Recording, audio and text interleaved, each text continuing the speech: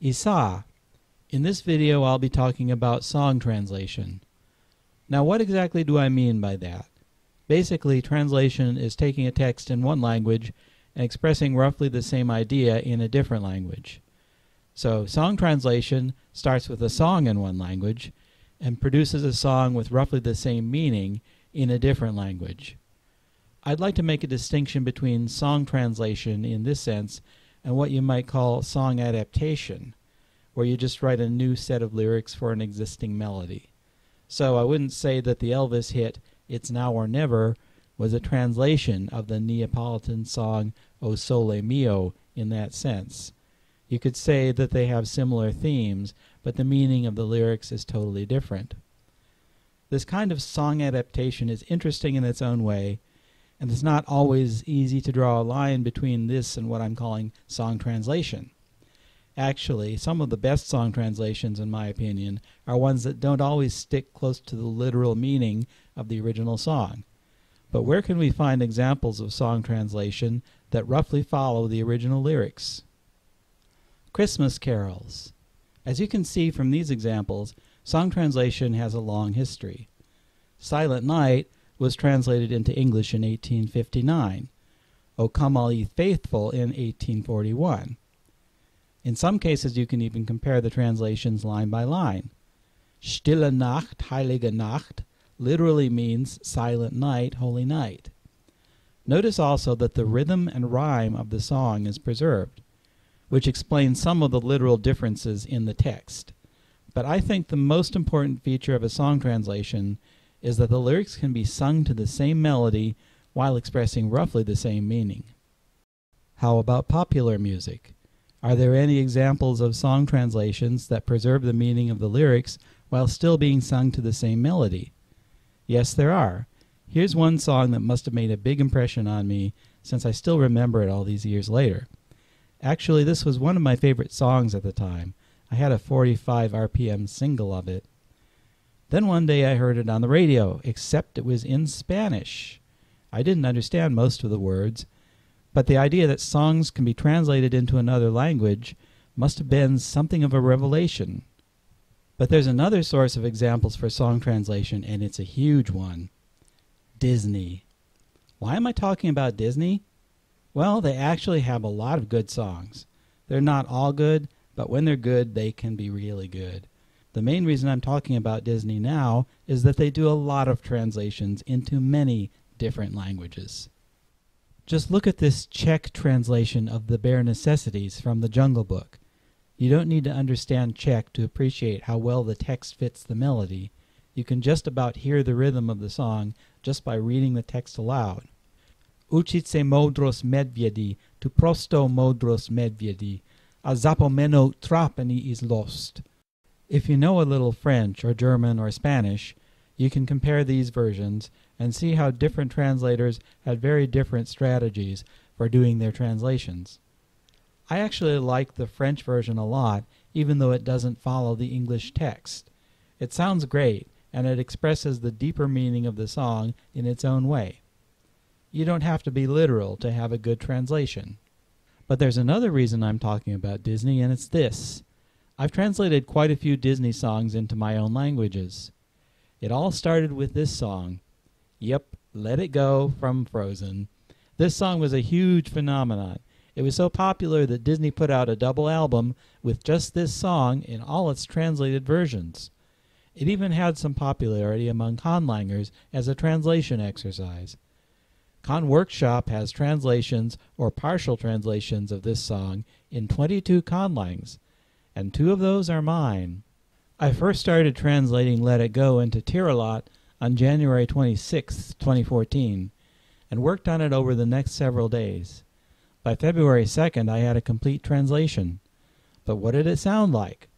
I can't sing like Idina Menzel, so I tried using UTAU. The results were not that great.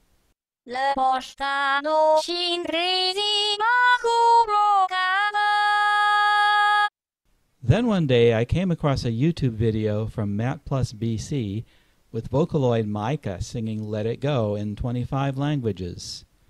On the same channel, there was a video of MAIKA singing Bad Apple in Portuguese. I realized that Portuguese has many of the same sounds as Tirëlat. So I decided to download a trial copy of the software to see what I can do to test the limits and break through. Sorry about that. What I found is that with a few simple tricks, MAIKA could produce almost all of the sounds I needed for Tirëlat. Here's the same example from before with MAIKA's voice.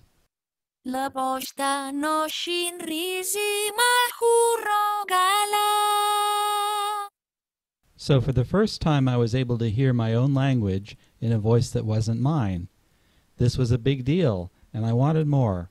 I went on to translate more and more songs. Gemiranen trefan ez gigan kiulink, oitan ez marramin, minako xeru oazin ila musagarrikan.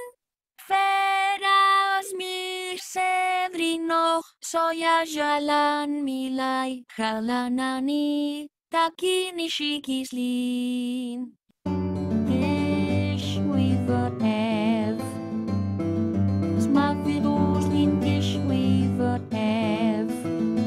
Even with all the advances in Vocaloid software in the last five years, MAIKA is still one of my favorite voice banks, with all of her extra phonemes and the clarity of her voice.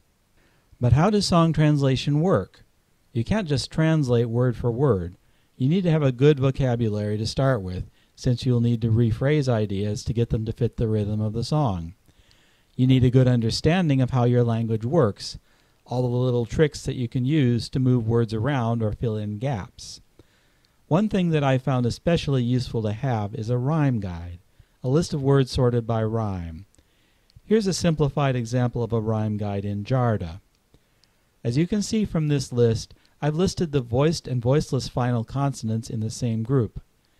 This helps me to identify words that might rhyme if a voiced final consonant is devoiced at the end of a phrase, or a voiceless final consonant is followed by a suffix that starts with a voiced sound.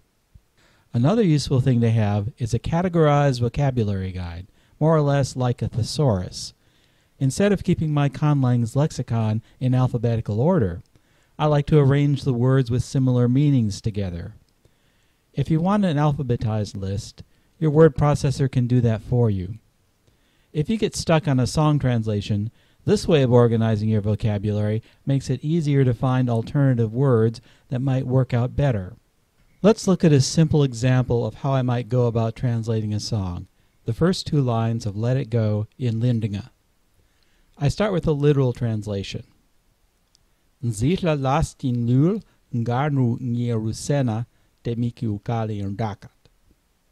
Clearly this can't be sung. It has too many words.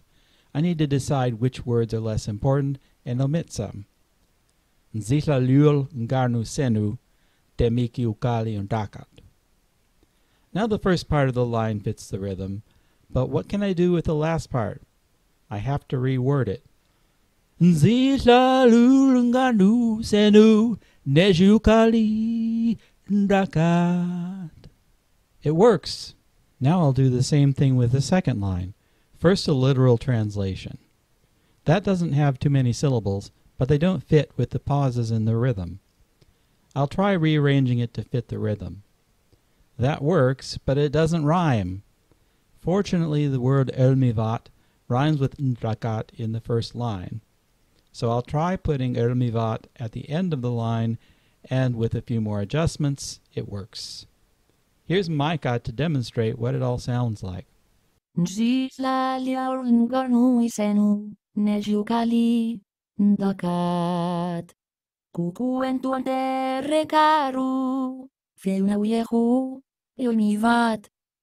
So that's a brief summary of how I go about translating songs in my languages. But the best way to learn about song translation is to try it for yourself. There's not a right or wrong way to translate songs. The rules are whatever you decide as long as it sounds good.